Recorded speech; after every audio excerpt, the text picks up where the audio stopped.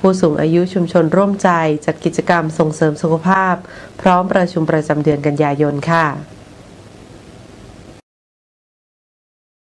ที่ทำการชุมชนร่วมใจเขตพื้นที่เทศบาลนครแม่สอดอำเภอแม่สอดจังหวัดตาก ศูนย์สุขภาพชุมชนโรงพยาบาลแม่สอดร่วมกับสมาชิกผู้สูงอายุชุมชนร่วมใจ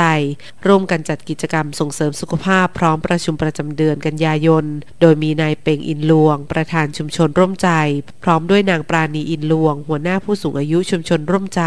นางบัวไหลบุญส่ง รองประธานชมรมผู้สูงอายุอำเภอแม่สอดนำผู้สูงอายุในชุมชน ร่วมกันจัดกิจกรรมนันทนาการส่งเสริมสุขภาพเพื่อรวมพัฒนาระบบสุขภาพให้แก่ผู้สูงอายุในเขตพื้นที่ชุมชนเมือง ให้มีสุขภาพที่ดีขึ้นอย่างต่อเนื่อง ทั้งทางด้านร่างกายอารมณ์ สังคมและจิตใจ